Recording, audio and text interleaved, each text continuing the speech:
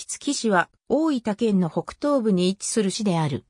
大分市と別府湾を挟んだ北向かい、国崎半島の南端部に位置する。陸路では大分市中心部から約 35km の距離がある。地域の南部から南東部にかけて別府湾に面しており、南東部には森江湾と呼ばれる小さな湾がある。地域北部、西部は山地である。宇佐市と隣接する立石峠は旧文後国と武前国との境界である。隣接する早見郡肘町、別府市とはかつて同じ早見郡として歴史や文化を共有してきたことから、別所早見、別属所地区と呼ばれ、市民生活や文化面での結びつきが強い。また、大分市との結びつきも強い。しかし、肘町とは、平成の大合併での合併協議が決立した経緯がある。全域で明治以来の大技を継承する。平成の大合併より前の地域は、木月市の次に大技がつくが、旧山賀町は、大技の前に、山賀町、旧大田村は、大田がつく。山賀町大田江戸時代は、木月藩松平市三万二千国の城下町として、栄え、廃藩地県まで、国崎半島の政治、経済の中心地であった。肘藩の分家、交代寄り合い旗本、木下氏の陣屋が、山賀町の立石陣屋に置かれた。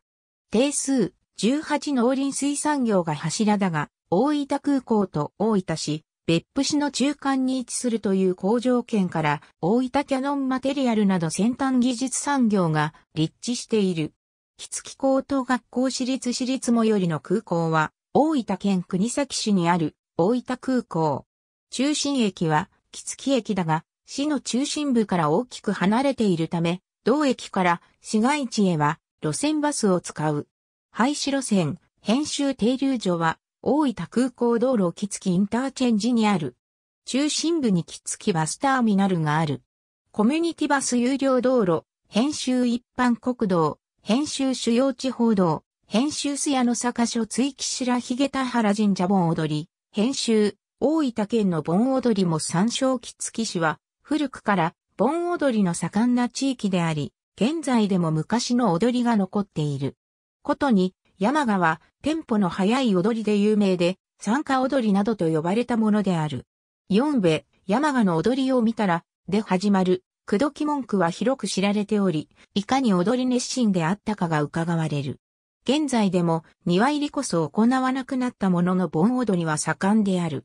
供養踊り、地蔵踊りを分けて、二回盆踊りを行う地区もあるし、昔は、お大師様の踊り、八作踊り果ては、供養踊りの練習などと名目を作って何回も踊る地区も多かった。以下、盆踊り歌を列挙する。これらの歌で一般に7.7丁の段物を口説く。